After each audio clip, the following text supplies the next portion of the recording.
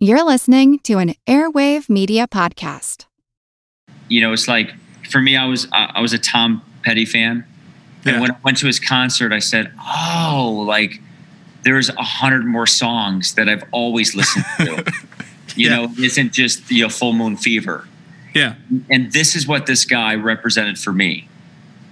Yeah, like well, my first exposure to him was the show Good Times, and like you know, getting into my like I wasn't I wasn't watching the original run of the show, you know, obviously, but like it was one of those shows that came on at a random time, like like I'm gonna say maybe like after school. When I was coming home from school, it would be on like UPN or something like that, and what drew me in was um, the artwork.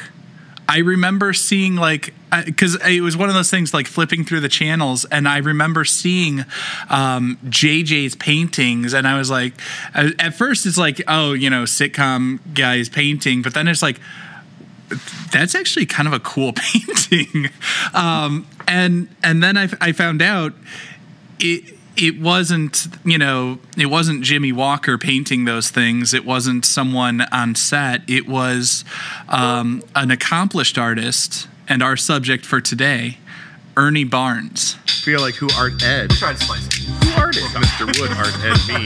Yeah. Either way, it, it's ambiguous. It works on so many levels. I know. That's off to a great start. Welcome to Who Art Ed, where we explore visual arts in an audio medium. I'm your host, Kyle Wood, and joining me once again today, I've got my old friend, Chuck Hoff. Thanks for coming in. Uh, old friend is right. I'm I'm 47, so thank you. I get older time I, I'm, I'm podcast. right there with you, buddy. Ti- time is hitting us both at the same in the same measure, but um, you know I, I appreciate I appreciate you're like one of the only people willing to consistently keep giving up time for this. Oh no, this this this is a pleasure. Number one, number two, um, I I have to be honest. You know, again, seeing the artwork of today's featured artist, and then doing a deep dive, um, it. I feel shamed that we haven't used him more often. He is he is one that like I the more I look at him, the more fascinating he is to me.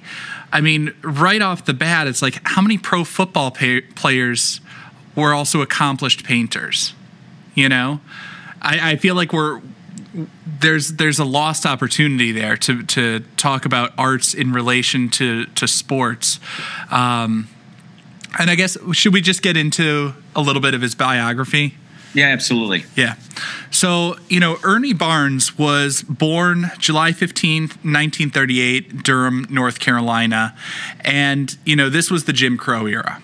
He he did not come from he did not come from the, the greatest beginnings. Um, he lived in a part of town that was referred to as the bottom. I mean, that pretty much says it all right there in terms of what he was coming from. Jim Crow in the bottom in the South. You know, um, not a great not a great circumstance for for a black man to be born into. and it and it struck me as I was doing uh, some research how there was a, a definite ceiling above his head. Oh and, yeah, and he had to figure out a way to navigate um, and to play the rules in quotation. yeah, Whether that was through segregation, whether that was through um, his interest in arts, like he was, he was uh, gently or or nudged into areas, into the boxes that they wanted him in. He wasn't getting, you know, he wasn't qualifying for the best art academy. yeah, and and that's one of those things that I think, you know, in some ways there were there were well-meaning people who helped him out. It, where he was growing up, you know, his father was a shipping clerk. His mother oversaw the household of a lawyer, and I guess that lawyer, you know, was also on the school board locally, and he encouraged Barnes to explore art. And you know, he listened to classical music. Like when when Ernie Barnes went to to work with his mother, um, you know, he would get to look through the art books and and listen to classical music and indulge in and explore those interests. And I just I find it so tragic to think, and this is not that long ago, that you know, he could see, read about, understand, and appreciate those masterpieces in books, but he wasn't welcome to see them in the museum. You know, Yeah, that struck me. like that. That's that's one of those things. When I when I read that, it just like it just hits you because like as as the teacher, I'm always like, how can we give more opportunities to help our students discover something and nurture that those interests and and just to think like how many people didn't have that in their lives i mean i the glass half full the man you know the man didn't let that stop him. You know ernie barnes persisted. He explored his his interests and he continued pursuing things as society has made progress um, you know to open more doors for people. But that's one of those things I, I just remember reading and just like you know it breaks my heart just like how he described himself as unathletic chubby and bullied you know as a kid it's like ah, i hate that someone had that self-image. Yes, self self image, and then probably reinforced uh, by classmates, and then to think, you know, where the character comes in, to think where along this line would this have stopped? You know, um, I would I would love to see if he had, you know, a memoir or a diary of just how impactful his mother was, because she almost lived as long as he did. Yeah. And to think that it took you know i'm sure it took several people a small community to keep lifting him up and to not get him into a singular track which was for a little bit the athletics. Well yeah and oh go on. No no i'm just thinking like that success that that you know when things did lock in and he was able to go off to college on what we we would see as a as a full ride. Um was it north carolina state was that correct uh, it was north carolina central university wow and it that was it's a historically black college right across the street from his high school or something like that. yeah yeah okay. So I'm thinking how remote this seems anyway and how close it was. And, you know, from there, he made the professional football league. yeah So to me, it's like he defied so many odds uh, athletically, but then to have so many people care for him so deeply to keep encouraging his art through all Well, of this. Yeah, and that's one of those things that I, I keep seeing coming up is like, you know, his parents supported him, he and and encouraged him. Um, you know, like like like so many mothers, uh, his mom wanted him to stay close to home because I think he had offers for scholarships from a number of different universities but she like she said like if you stay at home i'll, I'll get you a car while you go to college you know? Um which like I think a lot of parents can probably relate to like okay how can i keep the kid close to me? Um but like throughout all, all that you know there was the lawyer who his mom worked for like you don't have to take an interest in in your employees kids he he gave him resources and encouraged him um, Barnes said that, you know, while he was bullied as a child, he would kind of keep to himself, go to the quiet corners of the campus, and, you know, just sketch. And one day, you know, the weight, like one of the coaches kind of came, talked to, him, like, noticed him and and took him under his wing talked to him about how like weightlifting had and and athletics had been so impactful for the coach and he wanted to help Barnes and and you know it obviously was very helpful cuz you know by the end of his high school term he was state champ in shot put and you know captain of the team and that's what got him to college and that is that's a big deal. That really is impactful. And as you've already alluded, like from college, he went on to to be a pro football player. He he made it in the big leagues. So, um, you know, he did that for a few years, and he was on multiple teams. But sticking with that theme of mentors, you know, in 1965, the owner of the New York Jets was impressed by by Barnes's paintings. And he paid for Barnes to take a collection of his works out to New York. And unbeknownst to to to Ernie Barnes, the the Jets owner Sonny Werblin probably got that wrong, but he arranged for some critics to, to meet them at the gallery and evaluate the work. They were also expressed like impressed by by his work. And so Sonny Werblin actually decided to keep Ernie Barnes as a salaried player. But instead of going out on the field, he was paid to go behind the canvas and paint. Like I, I don't know of anyone else in the history of professional sports who has been paid like because think about an athlete's salary. It's obviously pro football players then weren't making what they are today, but like it was a good amount of money, you know, to be a salaried football player painting. That's interesting. and it was and it's interesting because you know every once in a while you have a thread of um, this reoccurring thing that the you know that the football player for instance is so much more than a football player an accomplished musician an author or an artist and when you see this you understand why he had sponsors or he had mentors um, throughout his life because he was so so much more than um, you know, a gym rat or someone who would, you know, just spend endless, you know, in mindless time, you know, in a room just pumping iron. And so I just, Yeah. I, I thought like, yeah, this is a likable character. Uh, he's featured on, you know, he would be featured on Disney Plus. You know, this could easily wrap itself up to a, a beautiful story. Oh, that's a movie I'd watch. Oh, for sure. I mean, especially the tension he faced um, growing up in that era, uh, where this, you know, wasn't accepted. Um, that he wasn't accepted to blend in with um, all of the United States, you know, all of the population and their talent. Rather, you know, you're, you're going to be here, you're going to be over here, you're going to have a ceiling. Um, and then he just defied that. He just kept, you know, his passion lit, and uh, and the artwork is amazing.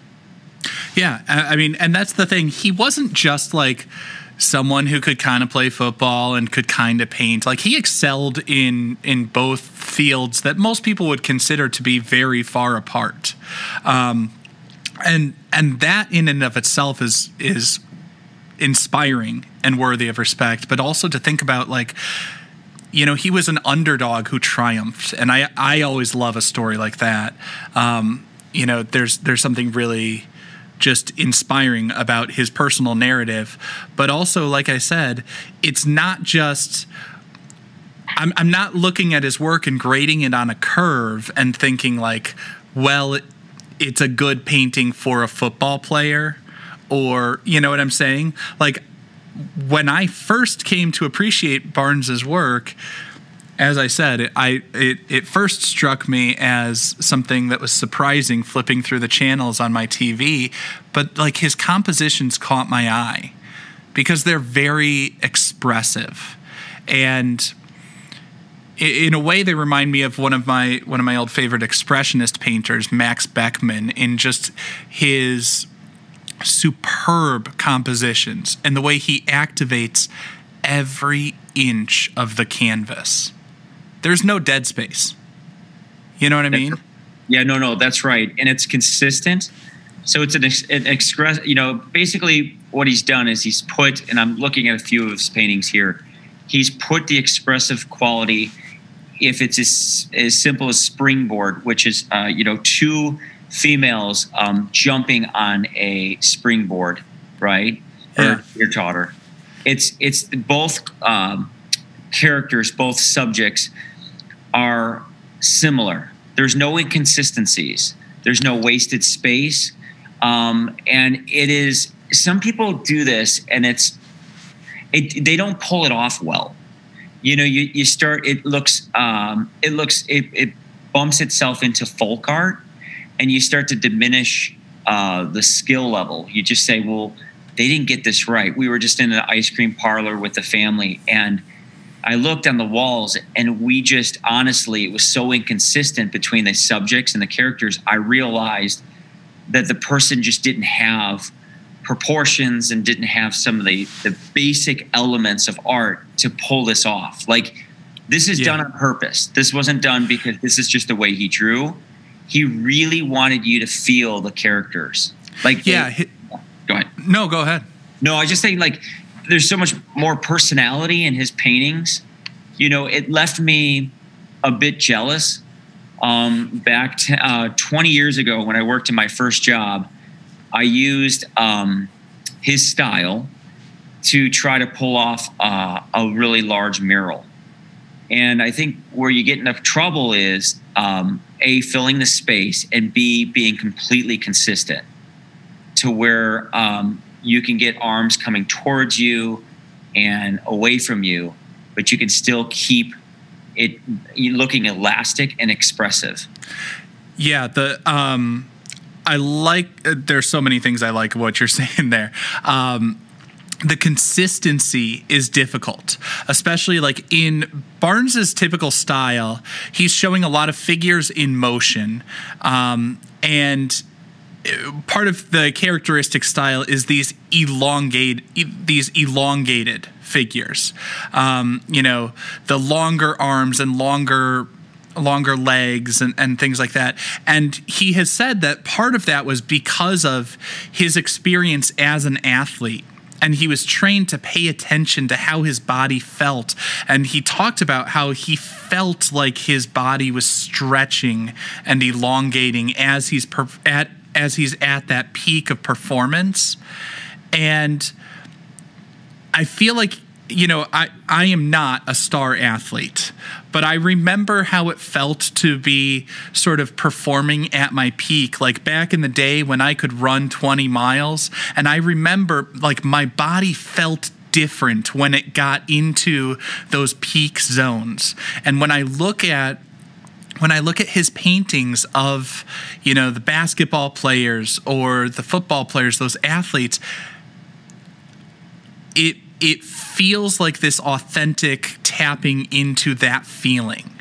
You know, it's not what it really looked like, it's what it felt like. And as you said, it's really hard to do that consistently, and especially when you get to points like the arms com- going forward. That foreshortening gets really complicated in this elongated style. That's right. And in in the painting, I know we're a podcast, and it would be worth um, the listener looking up. Well, do you want to pick out one specific one to go on? Because we could go on all day about yeah, like it was it was the American Dream that I was referencing. American Dream. Yeah, and and I don't like. I think it was just to call on what you were talking about. The the American Dream. Um, uh, we're looking at lanes uh, one through nine, and we're at the Olympics. Yeah. And and what he's done is he's thrusted the uh, winner, the the main character. He's thrusted him in a position that it, that if he stood still, if it's static, he falls flat on his face. But that's what invites you into the picture. You are invited to the first to the winner, but then you're drawn around the circle, if you will, all of those athletes. And what's visible in the athletes here is we have uh, I believe, seven athletes. So he's left out two. Seven athletes, seven lanes, nine lanes usually at the Olympics. And what you're looking at is you're you're looking at each one of their uh, poses, and you can just easily imagine being any one of them. You know, from the last place finisher to the first place finisher, every one of them has something a little bit different with their poses. It would have been really easy to make them all lean forward. But the one in lane, I don't know, maybe three or four, lane four, he's in the back. He knows he's not going to win. So he just stretches those legs out and tries to get his best time. He's running through the, the finish line. Yeah. And to me, it's like magical. Like, and and he was very careful to remind people that he can paint and sketch well to proportion and do it you know accurately. Because if you look at the background you look at all the judges they're done completely in a static way. To to to like almost to de-emphasize so you can stay right there with the action. Yeah, we see, you know, in here we see, and, and for for listeners, this is going to be linked in the show notes and you know tweeted out and on Instagram and everything. But we're focusing on, you know, the American Dream painting, and it is, you know, it is athletes running track right at the finish line and we can see the the athletes in the foreground are in that signature elongated style but the middle ground is like the reporters the photographers and they do feel slightly active in their poses you know? Like they're they're not like they're not stationary but they're not at peak performance. And so they are still in what i would call relatively natural proportion. And then the background it's just like the blur of the crowd is just the the specs, you know it, it might as well be a Seurat you know? It's just a bunch of dots representing the faces of, of the crowd off in the distance. But you're right the poses i think create this really interesting action here. Because what we're what we're capturing as you said we've got the winner we've got the the runners up we've got the the people who are in second, third place who were giving it their all and leaning forward and look like they're going to collapse over the finish line. And we've got the runner in the back who's running through it, just going for their personal best.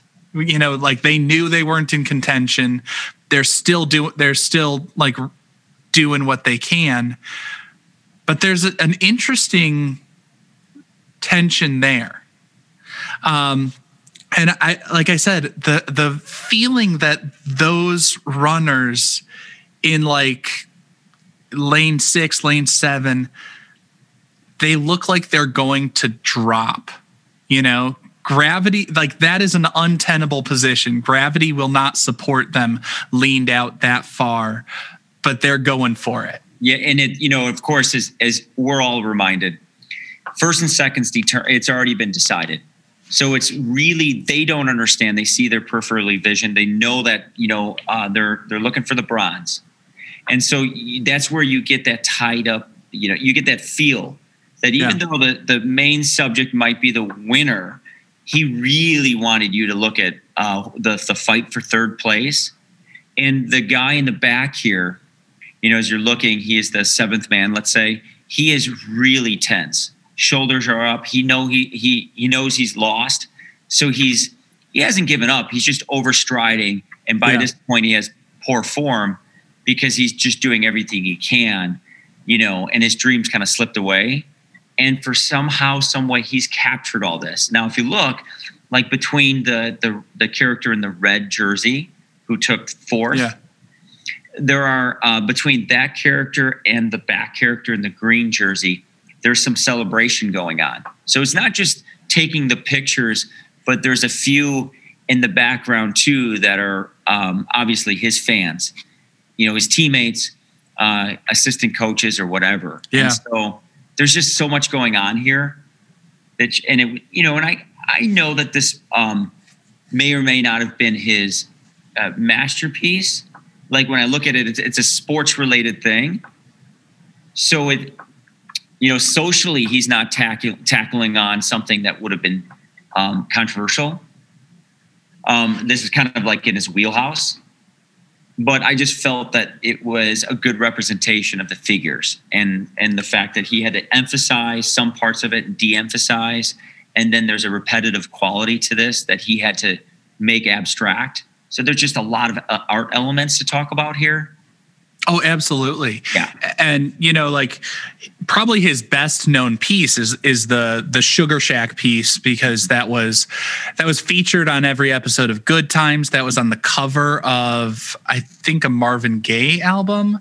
Um, it was like it was part of his series um, you know, back in the 1960s, 1970s, there was the Black is Beautiful social movement, and he created a series of paintings um, trying to find like and portray beauty of the ghetto.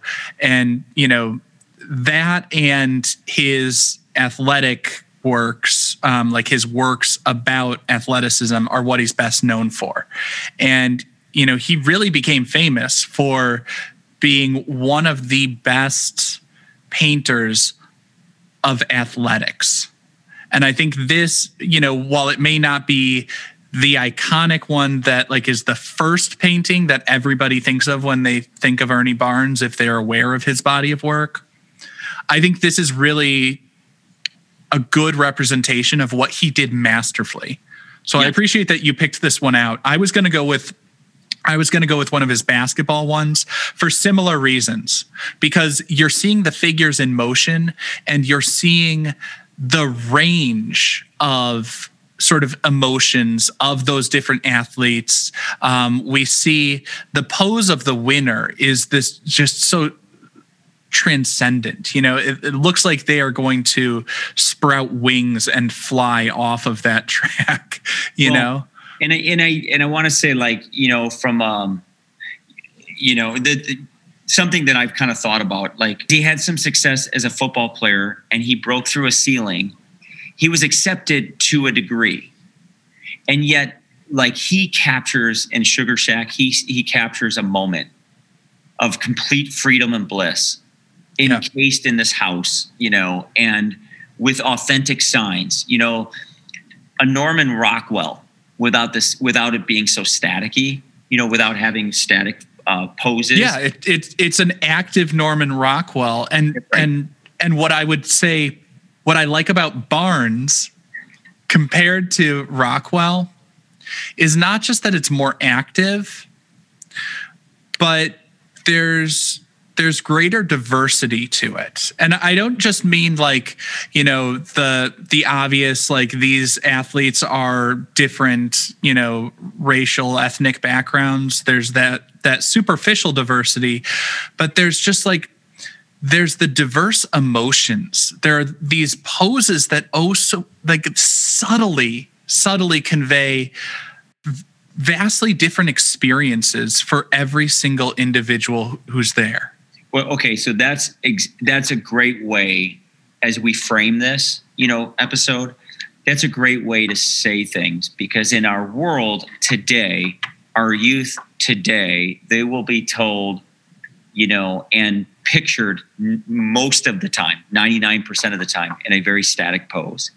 A Norman Rockwell scene, you know, if you will, um, Thanksgiving. You know, we had just seen that scene, right?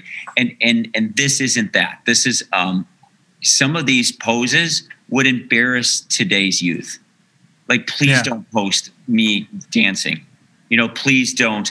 You know, and and and so I think that's where the electric, you know, super electric and it's super authentic and it's super candid.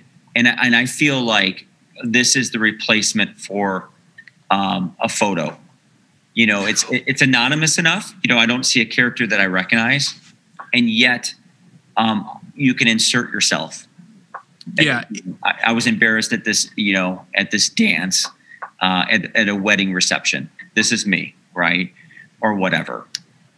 Yeah, I feel like that that comparison is is really strong. Um, you know, Barnes versus Rockwell is the difference between your formal family portrait in in the studio compared to, you know, the candid shot of the party with your friends.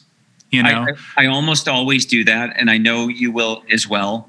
Is where you get. Um, I had this on my winter trip where we all stood, and there's seven of us, and we stood on our skis, and then it was the goofy pose. So you have the like the straight Yeah. out, like make sure this one gets on Instagram or Facebook, and I just leaned over and we fell candidly, and we were all on top of each other with skis flying everywhere and the poles, and I went from Norman Rock- Rockwell to Ernie Barnes within three seconds. And yeah.